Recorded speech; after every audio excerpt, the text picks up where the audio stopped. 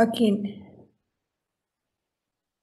Now, as you have this AutoCAD file, remember that um, we can um, import AutoCAD file to SketchUp. Okay, so um, before we import um, our AutoCAD to SketchUp, um, it is my uh, my advice is that you clean you clean your um, AutoCAD file. You don't need to have all the details.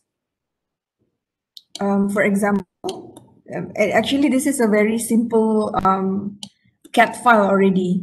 But one of the, um, okay, my advice is, for example, yeah, maybe you can have, uh, maybe you can save as, maybe you can save as uh, um, your file here, save, save as to another, to different file. And then you can delete, you can delete all these, macam uh, all the dimensions, the grid lines, you don't need this dalam SketchUp. Okay, this is my advice. So, okay, um, uh, this simple AutoCAD, uh, see, this is not a correct drawing. Okay, if you have the parameter drain, I just want to highlight it to you. If you have the parameter drain, of course the parameter parameter drain won't stop here, betul tak? So it has to go to the um, the existing um, roadside drain maybe. Okay, imagine that there will be a roadside drain over here. Okay, so imagine that there will be a roadside drain over there.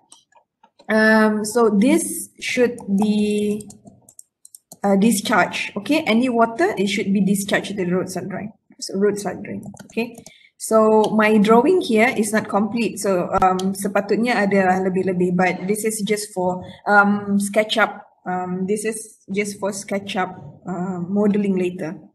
Okay, just to take note. Jangan sampai okay, Madam Donna punya drawing, uh, dia punya parameter drain stop there. No, ah, parameter drain it has to be connected with other drain, so so that the um, the water can be discharged outside.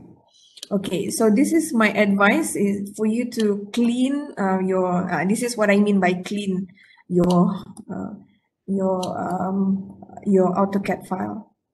Okay, I think this is good enough. Um, what you can save as. Remember, when you save as to SketchUp, um, don't don't save as. Um, I think 2018 is good enough, but to be safe, just save um 2010 Okay, save to 2010. And then uh, you name it. This one, you can name it. Um, for example, plan to SketchUp. Okay, this is contoh lah, right? So because you have um, save as, uh, this one can be deleted. So we have this.